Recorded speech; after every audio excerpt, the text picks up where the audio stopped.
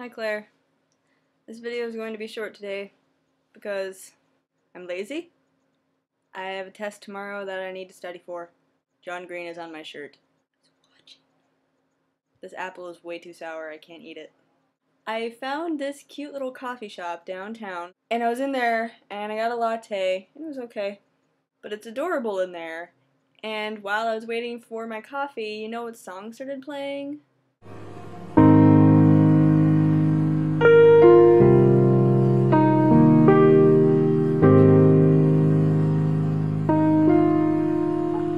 Original Brotherhood 2.0 intro song.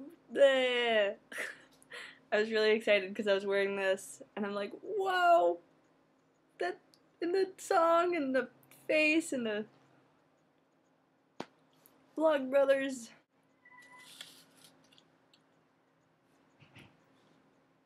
So going off of your yogurt metaphor,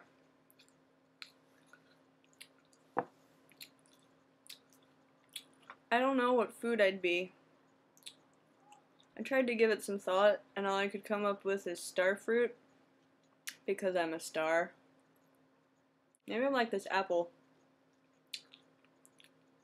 I'm uh, shiny and look pretty normal on the outside, but then you bite into it, it's incredibly sour, and you don't want to have anything to do with it.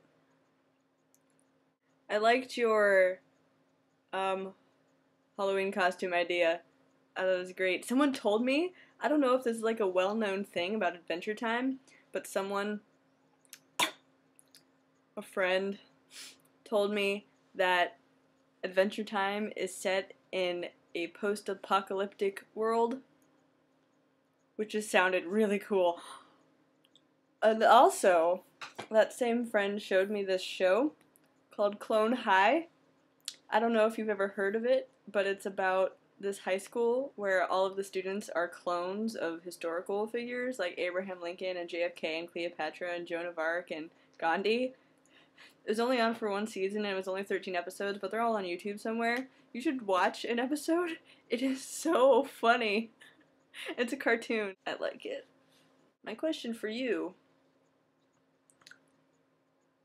is uh what do you like to eat for dinner? Do you like pizza? I don't know, I'm out of it today. This is weather. My hair is being weird. Woo! This was fun and exciting. I feel like my videos are getting increasingly lazier. I'll be more exciting someday. Maybe? I don't know. Bye!